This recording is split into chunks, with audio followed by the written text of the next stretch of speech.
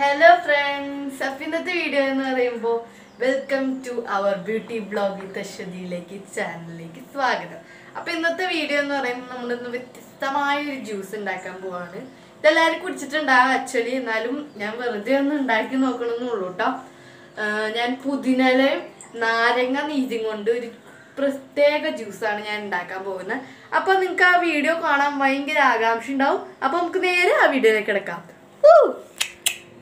അപ്പം അതിനായിട്ട് ആവശ്യമുള്ളത് നമുക്ക് നാരങ്ങ ആവശ്യമുണ്ട് പുതിനയില ആവശ്യമുണ്ട്. പിന്നെ നമുക്ക് കുറച്ച് വെള്ളം മതി. ഞാൻ ജഗ്ഗിൽ കുറച്ച് കൂടുതൽ വെള്ളം ഒഴിച്ചെന്നുള്ളൂ. കുറച്ച് വെള്ളം മതി നമുക്ക് പിന്നെ. പിന്നെ നമുക്ക് വേണ്ടത് കസ്കസ് പിന്നെ ഒരു മിക്സി. ഇത്രയും ഇൻഗ്രീഡിയൻ ഇൻഗ്രീഡിയൻ മിക്സി ഇൻഗ്രീഡിയൻ അല്ല. ഈ മൂന്ന് ഇൻഗ്രീഡിയൻസ് മാത്രം മതി. പിന്നെ വേറൊരു ഇൻഗ്രീഡിയന്റ് പറയുമ്പോൾ ഉപ്പ് അല്ലെങ്കിൽ മധുരം. ഇതാണ് നമ്മുടെ ലാസ്റ്റ് ഇൻഗ്രീഡിയൻസ് മിക്സീനെ ഞാനിപ്പോൾ കൂട്ടുന്നില്ല കേട്ടോ ഇൻഗ്രീഡിയന്റ് ആയിട്ട്. അപ്പോൾ ഇത്രയും സാധനമുള്ളൂ. കസ്കസ് നാരങ്ങ പുതിനല പിന്നെ വെള്ളം പിന്നെ പഞ്ചസാര. അപ്പം ഇത്രയും സാധനങ്ങൾ വെച്ച് നമുക്കെങ്ങനെ പുതിനല ജ്യൂസ് പുതിനല കൊണ്ട് നാരങ്ങ നീരും കൊണ്ട് എങ്ങനെ ഒരു നല്ലൊരു ജ്യൂസ് ഉണ്ടാക്കാമെന്ന് നമുക്ക് നോക്കാം. ഓക്കെ അപ്പോൾ വീഡിയോ ഷൂട്ട് ആവുന്നുണ്ട് അപ്പോൾ അതിനായിട്ട് ഞാനിവിടെ നാരങ്ങ മുറിച്ചെടുക്കുകയാണ് ഇതിങ്ങനെ മുറിക്കാവുള്ളൂ കേട്ടോ നാരങ്ങ. അതാണ് ശാസ്ത്രം. അപ്പം ഞാൻ ഈ നാരങ്ങ നാരങ്ങ പ്രസർ കൊണ്ട് ഒന്ന് പിഴിഞ്ഞെടുക്കുകയാണ് അതിന്റെ നീര്.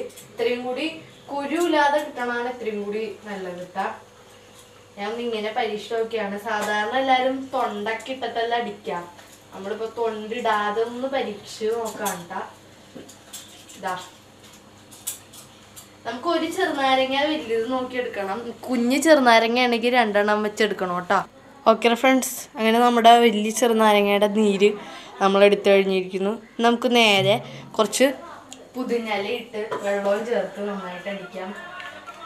പുതിനല ഞാൻ ആദ്യം കഴുകിയട്ടെ കഴുകിയിട്ട് നമുക്ക് അടിക്കാം കാരണം വിഷാംശമൊക്കെ ചെറുതായിട്ടുണ്ടാവുമല്ലോ. കാര്യം വിഷ വിഷാംശമായിട്ട് തന്നെയാണ് എന്നാലും നമ്മൾ കഴുകിയിട്ടല്ലേ ഉപയോഗിക്കേണ്ടത് പ്രത്യേകിച്ച് ഈ കൊറോണ സീസണിൽ ഇപ്പൊ നമുക്ക് പുതിനലയുടെ തണ്ടേപ്പാടിട്ട് അടിക്കാം.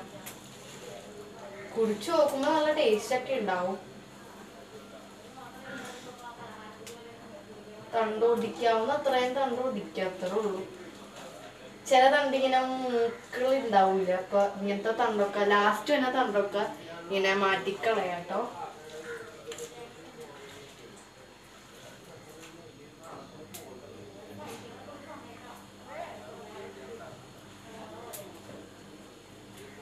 നന്നായിട്ട്.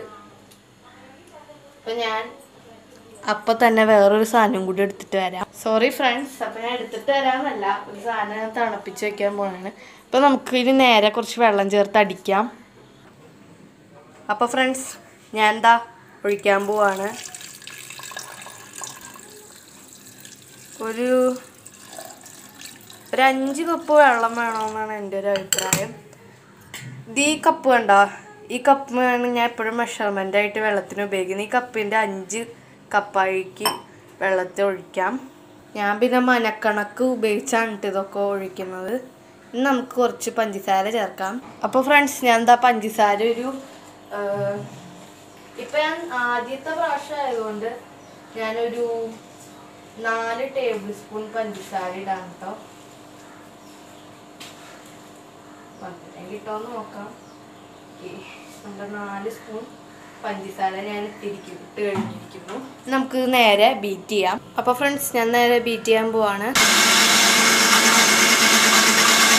അപ്പോൾ ഫ്രണ്ട്സ് ബീറ്റ് ചെയ്ത് കഴിഞ്ഞിരിക്കുന്നു. നമുക്ക് നേരെ ഒരു മന്തയിലേക്ക് ഇത് പകർത്താം. ഓക്കെ ഫ്രണ്ട്സ് ഇനി നമുക്കൊരു സ്ട്രെയിനറിനകത്ത് ഇങ്ങനെ അരിച്ചു കൊടുക്കാം. മിൻ ജ്യൂസ് എന്നാണ് ഞാനൊരു പ്രത്യേകത. ഒരു പേരിട്ടാണ് ഞാൻ മിൻ ജ്യൂസ് എന്നാണ് സാധാരണ മിൻ ജ്യൂസ് എന്ന് തന്നെ പറയാം. വെറൈറ്റിക്ക് വെറൈറ്റി എന്നല്ല ലെമൺ ചേർക്കും.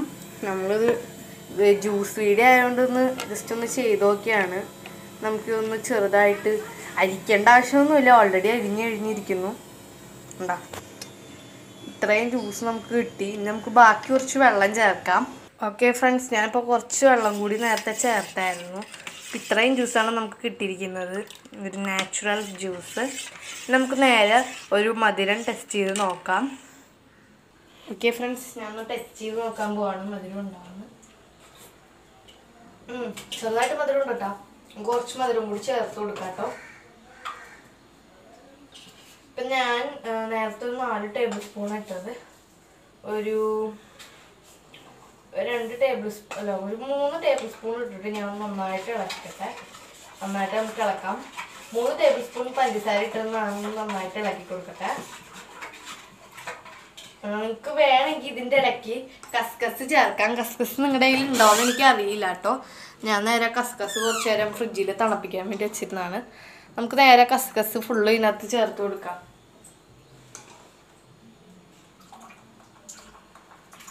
നല്ല തരി തരി തരി തരി പോലത്തെ കസ്കസ് കണ്ട കാണാൻ പറ്റണോന്ന് അറിയില്ല. കണ്ടോ നല്ല കസ്കസ് തരി പോലെ പോലത്തെ. നമുക്ക് ഇത് ചേർത്ത് കൊടുക്കാം. ഓക്കെ. കസ്കസ് ഞാൻ കുറച്ച് നേരം ഫ്രിഡ്ജിൽ വെച്ച് ഒന്ന് തണക്കട്ടെ എന്ന് വിചാരിച്ചിട്ടാണ് കേട്ടോ നന്നായിട്ട് ഇളക്കി കൊടുക്കാം കേട്ടോ പിന്നെ മിന്തിന്റെ ജ്യൂസ് ആവുമ്പോൾ പ്രത്യേകിച്ച് നല്ലൊരു ടേസ്റ്റ് ഉണ്ടാവും ഈ കസ്കസും കൂടി ഒന്ന് ഇടുമ്പോൾ അതാണ് പ്രത്യേകത. നല്ലൊരു ടേസ്റ്റും കൂടി ഉണ്ടാവും കണ്ടോ? ഉണ്ടോ മിൻ ജ്യൂസിന്റെ ഒരു ഇത്രയും കൂടി ഭംഗി കൂടിയതുപോലെ ഉണ്ടോ അപ്പോൾ നമുക്ക് നേരെ ഒരു ഭംഗിക്ക് വേണ്ടി നമുക്കൊരു ലെമൺ കുത്തി വെച്ചിട്ടുണ്ട്. നേരെ നമുക്ക് ഷൈൻ ഗ്ലാസ്സിലേക്ക് ഒഴിച്ചു കൊടുക്കാം. കസ്കസൊക്കെ ഇട്ട് നല്ല മിന്റൊക്കെ ഇട്ട് നല്ലൊരു ജ്യൂസ് നമുക്ക് നേരെ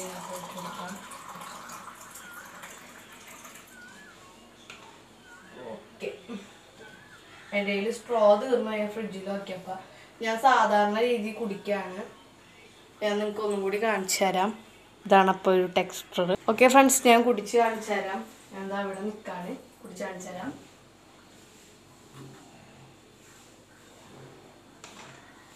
കൂടുതലായിട്ട് കസ്കസായിട്ടാണ്